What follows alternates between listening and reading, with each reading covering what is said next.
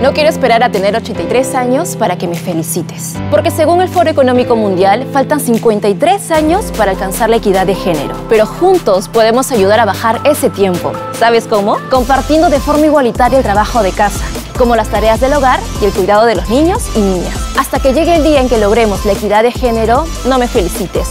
Lucha conmigo todos los días.